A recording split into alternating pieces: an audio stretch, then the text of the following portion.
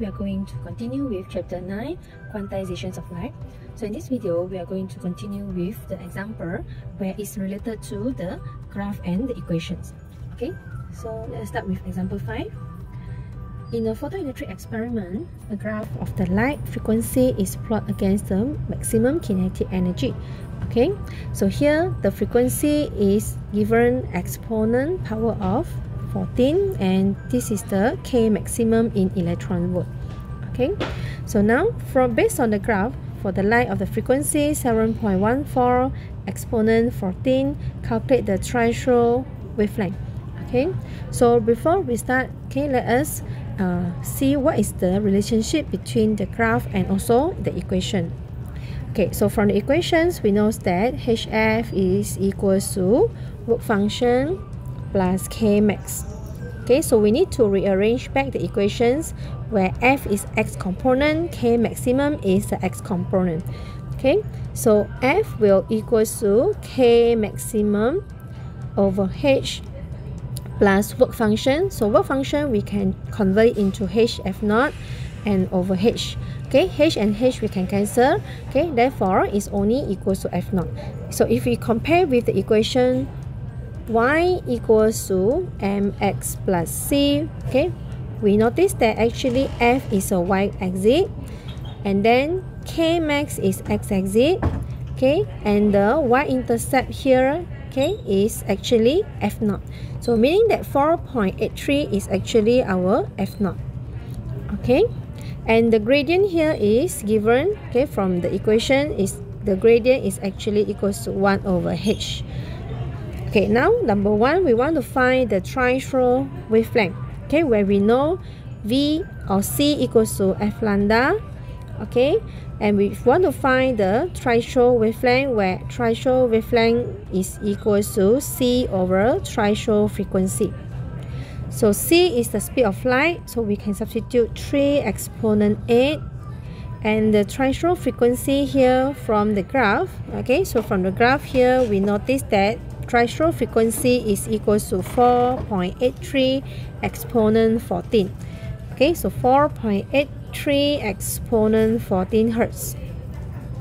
Okay, therefore the threshold wavelength, the value that we will get is equal to 6.21 exponent negative 7 meter. Okay, next questions number B. Determine the maximum speed of the photoelectron. So from the equation just now, HF is equal to work function plus K maximum or half NV squared. Okay, so we can substitute in, okay, half NV squared is equal to HF minus HF naught, okay, where H is 6.63 exponent negative 34, and we can factorize out the value H, yeah? Okay, where F, the incident frequency, uh, we don't have the incident, yes, uh, the incident frequency is equal to 7.14 exponent 14. So I substitute 7.14 exponent 14. And the threshold frequency from the graph just now here is here is 4.83. Okay, so it's 4.83 exponent 14. So this value is from the graph. Uh. Okay, so half mv square. m is the value for electron. So it's 9.11 exponent negative 31 v square. Okay, therefore v or the maximum speed of the photoelectron that we can obtain is equal to 5.8 exponent 5 meter per second. Okay, so this is the answer for the maximum speed. Okay, next we go to example number 6. Okay, example number 6. In an experiment of the photoelectric effect, the following data were collected. Okay, meaning that here we have two different wavelengths. The first one is 350 and the stopping potential is 1.7. Okay, the second one, the wavelength, the EM radiation is 450 nanometer and the stopping potential is 0.9 volt. Okay, so now, questions number one. calculate the maximum velocity of the photoelectron when the wavelength of the incident radiation is 350 nanometer. Okay, so we are referring to case 1, okay, the first wavelength. So H C over lambda is equal to work function plus K max or K max here because it's not given they give us the stopping potential. So we can use the stopping potential EVS okay? The problem is we don't have the value for the stopping potential. Okay? So how to find the maximum velocity? We have another equations where K max is equal to potential energy.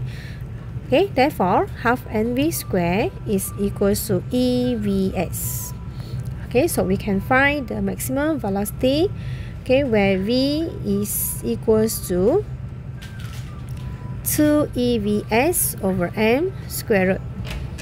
Okay so i substitute i substitute in the value where 2e is 1.6 exponent negative 19 and stopping potential when we incident 350 nanometer radiation the stopping potential here is 1.7 okay so it is equals 1.7 and the mass is uh, the mass of the electron. So it's 9.11 exponent negative 31 and remember to square root. Okay therefore the velocity or the maximum velocity of the photoelectron is equals to 7.73 exponent 5 meter per second. Okay okay second question B Determine the value of the Planck constant from the above data. Okay, so from the above data, we found that actually we have two unknown. The first one is h, the second one is the work function. Okay, so what should we do is because we have two unknown and we have we can form two equations and then we can do it simultaneously. So we need to rearrange back work function is equals to hc over lambda minus evs.